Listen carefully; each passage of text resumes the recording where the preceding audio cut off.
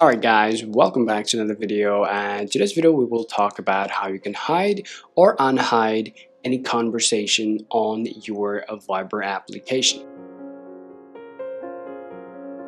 Now to do the process, the first things you're gonna want to do is very simple. Go ahead and open up your application on your iPhone or your Android and then go ahead and choose the conversation that you want to hide okay so here for example we will try to hide this conversation to show you how it works and to do it, go ahead and just swipe it to the left and then you're gonna see this option called hide. Now go ahead and tap on hide then it is gonna you know it's gonna give you this drop down menu. Now go ahead and tap set pin and now you have to enter the four digit pin to save or secure your conversation or the conversation you want to hide okay? Now go ahead and enter four digit pin.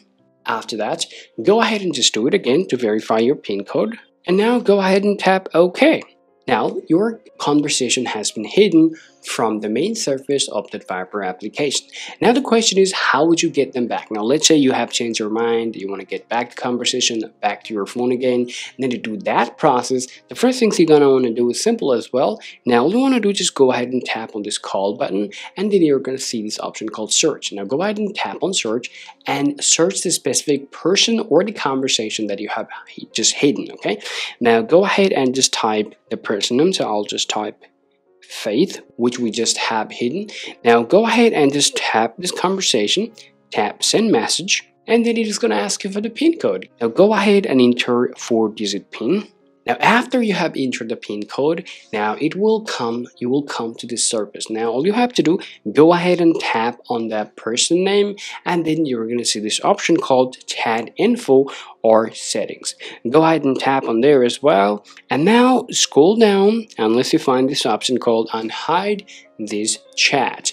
Go ahead and tap on hide this chat and once again it will ask you the pin to unhide that chat. Now in, enter the four digit pin code again and now your chat will get back to the main surface again.